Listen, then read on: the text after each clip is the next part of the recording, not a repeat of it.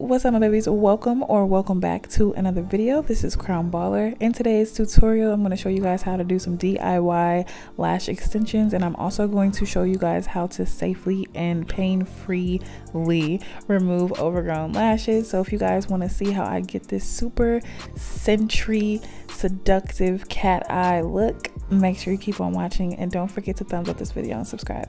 Krowned Baller, take one, action.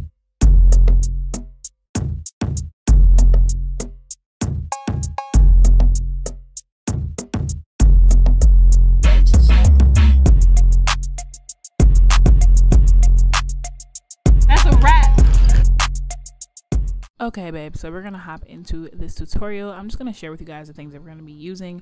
Firstly, we're gonna start off with a mirror, of course. We need to see what we're doing. Then I'm going to be using a spoolie, of course, to brush out the lashes. We're gonna have some tape, which is completely optional. Along with the optional is this little ring for the glue pocket. Now, you can put the glue on a flat surface if you want, but for me, it was just a little bit easier. Then we're gonna need a pair of tweezers, one for separating and the other for actually picking up and applying the lash lashes. Then next, we're actually going to be having lashes. These are lashes from Veyes or VI's. I did get this on Amazon. All of the things that I use in this video will definitely be down in the description box. So make sure you guys check that out. Also, you're going to want a fan to decrease the drying time. And for the start of the show, we're trying out this new glue by Duo. It is a dark adhesive. It's my first time using this glue and I'm pretty interested to share with you guys how it actually works. So let's hop into this tutorial.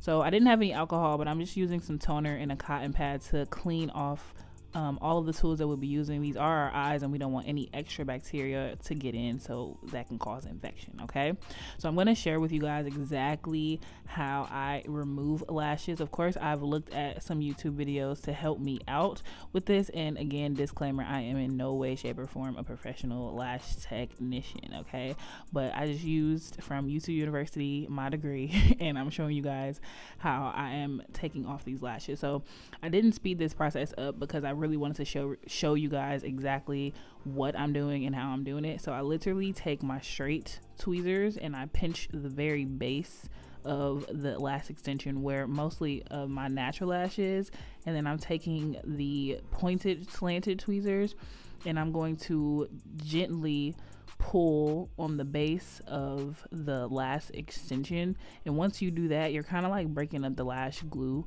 um, and breaking, literally breaking it down so that it will crack off.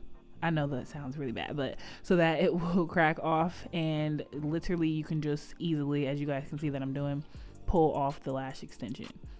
Now these are like you only have to do this if you have some lashes that are literally hanging off, um, some overgrown lashes as I've seen before.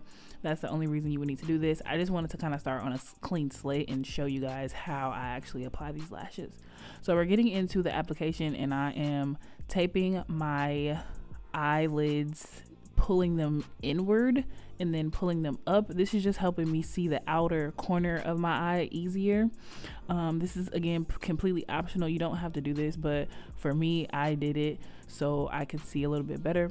Next, I'm just gonna shake my glue really well and then add just a small, small amount in my pocket. With this glue, it's not like professional glue, so it's not gonna dry that um, quickly um, but it will dry out fast just sitting out. So you don't want to put a whole bunch of glue um, in your little pocket or on your surface.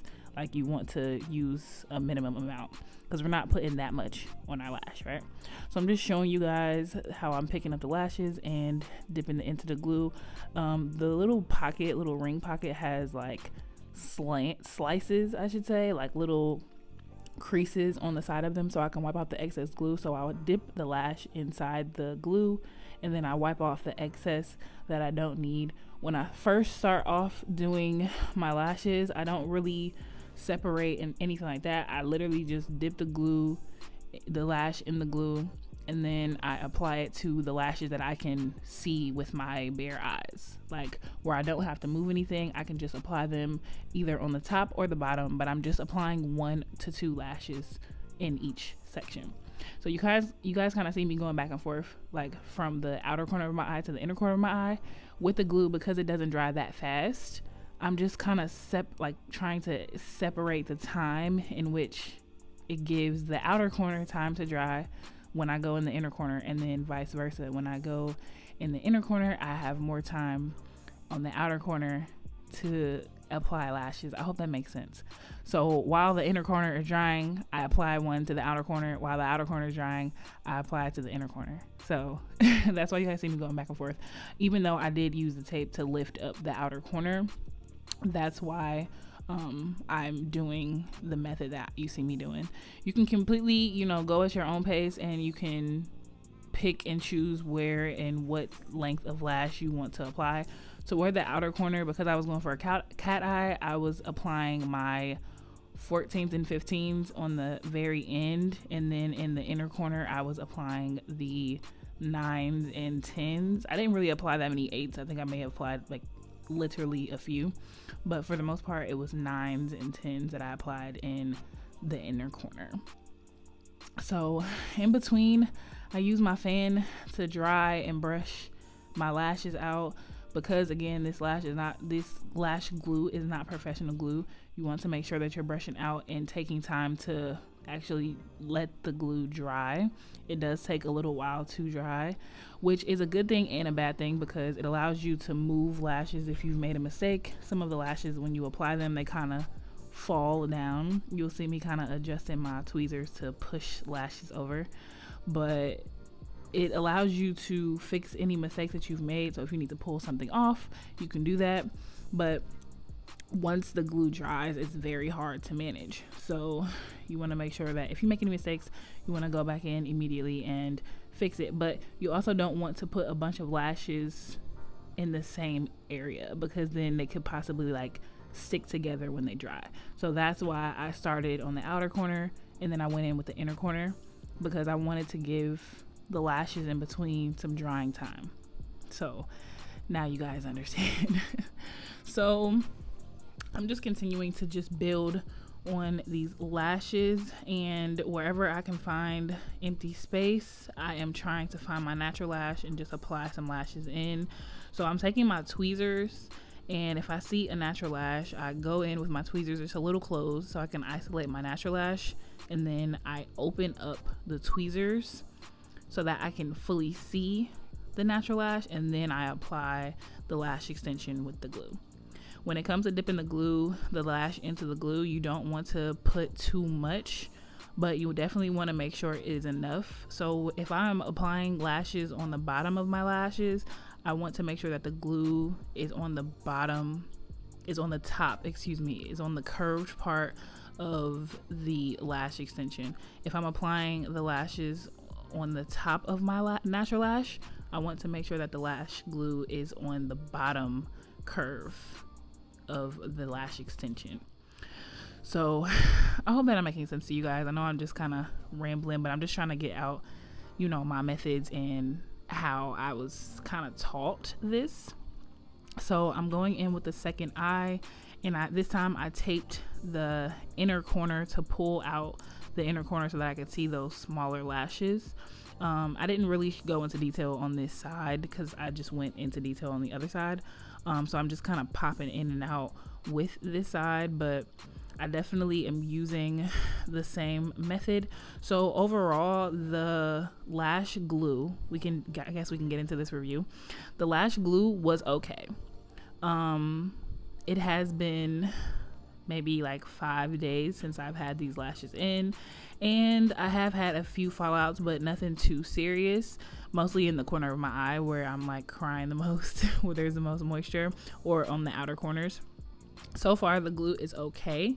Um, I wasn't a huge fan at first of this glue, but I feel like once I actually shook up the glue, it worked a lot better for me. Um, before I just felt like it wasn't sticking. It was also my first time when I was trying attempted to try the glue, so I just kind of gave up on it because it wasn't doing what I needed to do. Um, my normal Ardell that I use, I honestly would prefer that overall for now. But I'm gonna give this a few days and then I'm gonna actually use it to apply some more lashes again, so I can give you guys like you know an extended review of how I like or dislike this glue. Um, for this look, I used um, a few eights, like I said. 9 millimeter, 10, 10 millimeter 11 millimeter, 12 millimeter, 13 millimeter, 14 millimeter, and then on the outer, very outer corner, I use 15 millimeter. Oh, here is pretty much the finished look. And then later in the night, I went ahead and added some more lashes. So here is the final finished look. It's giving super seductive, super cat eye. I'm actually in love with these lashes so far. No complaints for the Veyes lashes, and I'll let you know about those in another video. But thank you guys so much for watching. If you made it all the way to the end of this video, if you like this video, and if you guys like these lash videos, make sure you guys tell me down below in the comment section. Give this video a thumbs up. Subscribe if you haven't done so already, and I will see you babes on the next one. I'm clearly lit about my lashes, and I hope that you will be too. Love you, babes. See you on the next one.